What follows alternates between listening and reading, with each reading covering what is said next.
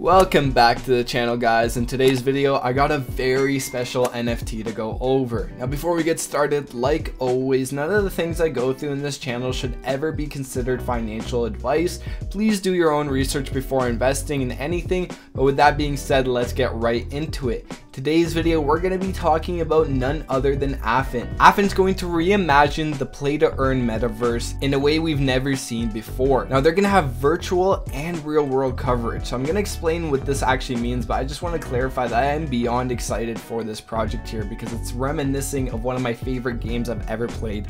And we're going to talk about that as we come along here. Now, what makes Affyn unique? Well, it's a play to earn that's also free to play. So play to earn metaverse that allows players to start playing and earning without an initial fee. So this reminds me a lot of how Thetan Arena works. You're able to play and earn to an extent without actually paying for anything, but you're also able to actually purchase an NFT and be able to earn even more money through the game. This is actually an amazing way to get people onto your play to earn game because if they play it for free and they enjoy playing it, then they're gonna most likely want to pay to earn more money on it playing a game that they already enjoy doing for free, right? So it's actually an amazing way to get more people on the platform and it's almost like a free trial for people to understand what it's like. They're able to enjoy the game in the same way on both ends, but one you're able to actually make a living on it and the other you don't really make as much money, but you're still able to earn a bit of money on there as well. So sustainable game economy. So this is to ensure that the rewards remain attractive to existing and new players in the long run. They've found the solution to maintain a sustainable and growing game economy here. Now, additionally, it's a mobile geolocation base, and this is what really caught my attention about this project here. Like they said here, it's going to be geolocation based gaming which is on the rise. They're becoming the pioneer of the mobile play to earn category in the blockchain space. Now, what is a geolocation game? Well, you guys probably know a few games like this, specifically one, which is Pokemon Go. Now, Pokemon Go took the world by a storm back in around 2017, I believe, because that was when my addiction was at the very highest. I've never walked so much in my life. I think I was doing easily five to seven kilometers on a daily basis, trying to hatch my eggs and catch as many Pokemon as possible. And actually became a phenomenon in the mobile gaming industry. There's people from all ages, all around the world, playing it almost like a full-time job. And the Affyn is the first AAA game to be able to bring this in the play to earn and the blockchain space. So this is absolutely huge, guys. They're revolutionizing the way that you're able to earn on the play to earn spectrum while incorporating a technique that has shown in the past to be very effective in gaining a lot of traction and a lot of users on a monthly basis here. Now they're also going to have real world token utility. So when you actually get these tokens, it's not just going to be stored on the game here. You're going to be able to earn FYN, which is their actual token there. You do not have to convert it into fiat currency to use it in the real world. They're going to provide special privileges and benefits when they pay with FYN. So they're going to have their own partners. You're going to be able to buy stuff online uh, with their actual token here and you're not just gonna have to sell the token convert it into you know something like ethereum and then convert it into fiat currency. So that's really great to see guys. They want you to actually hold their token. Maybe they're gonna have some sort of staking mechanism in the future as well which is just really gonna amplify the reasoning for people to hold on to this token and really grow the utility for the project. Now the overview the art and gameplay on this from what i've seen looks absolutely amazing. So the nexus world going to be the mobile metaverse with with a digital layer that is mapped into the real world, where users can explore, play, and participate in activities using their geolocation, right? You're gonna have buddies obviously on there as well, so each buddy is a non-fungible token and digital representation of the character in the Nexus world. They are a collectible unit with attributes and properties. So these are gonna be the actual NFTs that you're gonna be able to purchase, maybe along some others as well. There's a Nexus land, so they're gonna obviously have their own metaverse here as well, which is a digital representation of the real estate in the virtual world that is mapped accordingly to the real world. Each land is represented by a hexagon.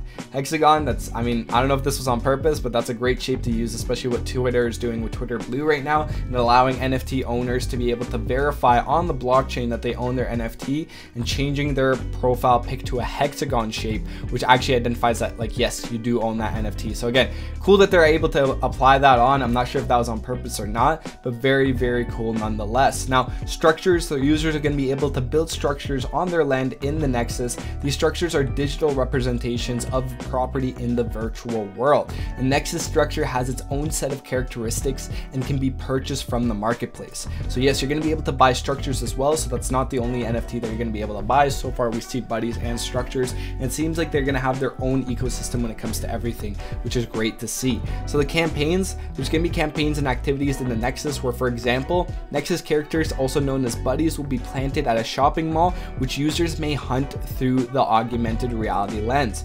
Very similar to Pokemon Go, guys. They're not reinventing the wheel. They're just taking something that works and it's worked in the past very well and bringing it to a new and exciting market, which is the play to earn market. This is very, very great, guys, right? So they're pioneering it in the way that they're bringing both of those elements together, but they're using things that have shown to work, which is why I think this is going to be extremely successful when they release here.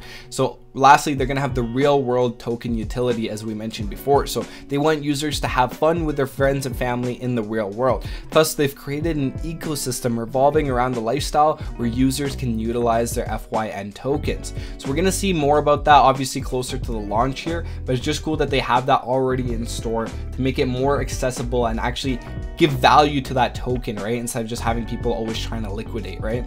So coming in 2022, get ready to accumulate your FYN token tokens. So buddies, right? So each buddy is a non-fungible token with its own attributes and properties.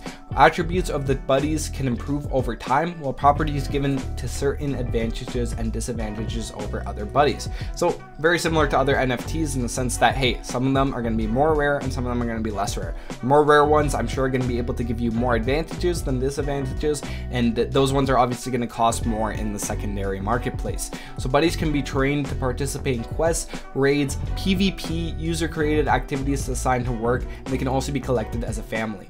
This part really got me excited, guys, because I like I was expecting them to have quests, which is always cool. I love doing the PvE type of games as well. They're gonna have raids, but also PvP. PvP is huge because this is what keeps getting people to come back to games years down the line, right? Because after a while, PvE could get boring. It depends how they're able to execute on it. But with PvP, it's always a new person. It's always someone else on the other side who's actually playing against you. And that competitiveness, that knowing it's a different person, a real live person who that you're fighting against or that you're playing against, that's always very exciting. And that's why games like Call of Duty and other online multiplayer games were able to succeed for such an extended period of time. Now, these are only going to be able to be purchased with FYN tokens. So again, they're giving more utility to their token here, which is going to add to the liquidity if you do want to liquidate. There's also the Nexus land. So each land is a non-fungible token. So it's an NFT which is tradable and purchasable among others. Owners will have full control over their land development to earn income, build structures, increase the player count so you're able to lease it to them and host campaigns, events, and activities. Again, this is all going to be able to be purchased with the FYN token, which is increasing their utility. So for the token sale here, we can see that they initially dropped it at 0.02 for the FYN token, so just uh, about 2 cents there. And an initial 200k was raised to help kickstart the project. 10 days was locked, 1% unlocked daily afterwards. At 18 months vesting with 6 months cliff, it was the seed phase, which was 0.03, and at 0.05, so about 5 cents there. Again, it's the same idea there. So as we come down, so we can see that the launch pad price is going to be 14 cents, so a whole 7x from the initial here. And it's going to be 10 days locked, 10 days, 10% unlocked, and 1% unlocked daily afterward. So their team here, they have actually a quick video for each of the team members. This is something I have not seen before. The amount of work that they put into doxing their own team members. Obviously, all their LinkedIn's are shared as well, but this is an extremely expansive crew here, all with intensive experience in their fields. We have gaming experts, marketing strategists, CEOs from other big companies as well. So a very expansive team here that I think they're going to be able to do some of the craziest things we've seen in the play to earn space. The list continues to go on and on, and I'm beyond excited to see what they're able to accomplish with this amazing project, guys. Now, the investors and partners, this is where things really kick up a notch. They have some of the biggest people in the space for venture capitalists to other investors that are able to bring over this project to the masses, right? They're able to obviously kickstart the entire project with a lot of money, a lot of capital, and I don't see this project doing anything but a straight moonshot. But again, do your own research. I'm going to leave all all the links down in the description below so you can find out more information yourself. But personally, based on the research I was able to do, I am very, very excited for this project. So on their pitch deck here, I just wanted to show a few things here. So they obviously saw a problem in the play to earn market, which was players are not getting a cut, have no ownership or no control in the booming gaming industry. Most play to earn games are currently facing the issue of unsustainable game economy, and the fundamental issue of crypto adoption is that very few buy crypto for the purpose of using it and therefore continue to be speculative instruments, right? So they understand that people are getting into these play to earn games, but now they're stuck with these cryptos that don't actually have any utility and they're not really sure what to do with it, and it honestly causes a lot of FUD inside the market here. Now, what they're going to be doing here is that they're going to have a closed loop economy, right? So they're actually bringing in the FYN into the metaverse through an AR activity game, which we already saw, which is using the geolocation. And they're connecting the Nexus, which is the virtual world, with the real life world here. So they're going to be able to do that multiple ways, and this is a completely untapped market for them to be able to breach. Now, from the sneak peeks I've seen of the game here, they look amazing, guys. Look at the art on the left here, guys. I'm very, very excited to play this game. They actually have a trailer that's releasing just in a few days here. So by the time that you're seeing this video, you might have to wait a few days, but I'll make an update video on this. But they're having an amazing trailer that's going to be coming out. They're going to show more about the video game here when that comes. So there's going to be multiple ways to earn in the Nexus. You're going to be able to visit real life landmarks, but obviously they're going to be represented in the Nexus with a virtual landmark. You're going to have the collection of the buddies. So those are the NFTs you're able to purchase, the Nexus virtual land, and campaigns and quests and events as we mentioned before here. So the campaigns in the Nexus, for example, they're going to announce that there's going to be 20 wildlife buddies that will be attacking the shopping mall this weekend, and users are going to be able to help capture them and earn FYN tokens. And then the people who capture, like for example, the green dino, which might be an extremely rare buddy, they're to win a trip to Paris there. So they're not just giving back in token wise, but they're also giving out, like I said before, real life trips and real life applications and rewards so people have a bigger incentive of playing the game and just really increasing the utilization in this developing video game. So also over here, we're able to see what they meant by the real world utility. So on the left here, we can see, for example, that if there's a trip to Fiji or maybe a trip to Paris or whatever it may be, they can give you the dollar value for it, but they can also allow you to pay for an FYN.